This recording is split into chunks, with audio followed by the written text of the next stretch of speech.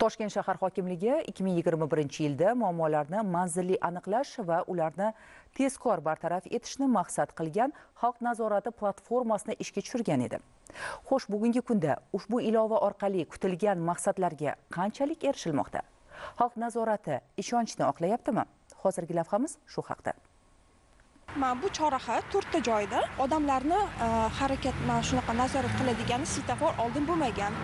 O'shani biz e, o'tgan yili e, yozda murojaat qildik. Unutib berishdi. Shohmed sentr yonida ikkita maktab joylashgan. O'sha yerdagi piyodalarni o'tish joylarini hal qilib berishdi. Mana ikki yildirki xalq nazorati platformasi toshkent shahar aholisining muammolarini tez va qulay tarzda hal etayotgan tizimga aylanmoqda. Bugunga qadar fuqarolarning hayotini yengillashtirishga qaratilgan yigirma uch mingdan ziyod murojaatlar ijobiy yechim topdi. Raqamli toshkent dastur bitta punktlaridan xalq nazorati platformasi edi. Birinchi yilimiz tizimimizni sinaganmiz. ikki ming yigirma birinchi yil oxirgi natijasida e, to'qson to'rt foiz e, ijroda bo'lgan arizalarni yopganmiz. ikki ming yigirma ikkinchi yil foydalanuvchilar soni sakkiz baravarga oshgan. Tizimimiz natijasini beryapti. Bunda ijtimoiy tarmoqlarda e'lon qilinayotgan poytaxt aholisining turmushi bilan bog'liq muammolar ham xalq nazoratining e'tiboridan chetda qolmaydi. E'tiborli jihati hal etilgan har bir murojaatga yakuniy nuqtani ijrochi emas balki fuqaroning o'zi qo'yadi.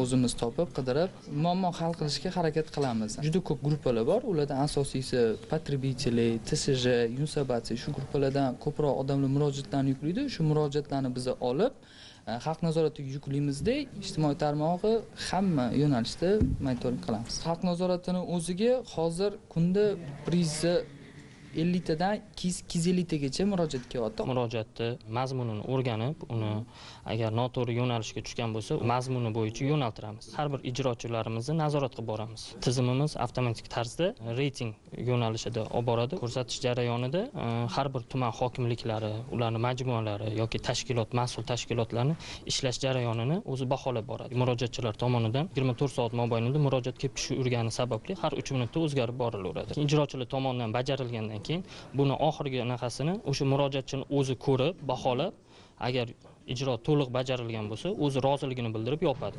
Agar ijrochi norozi bo'lsa norozilik sifatida o'zini xulosasini qoldirib norozilik tugmasini bosib qaytarib yuboradi bizaga.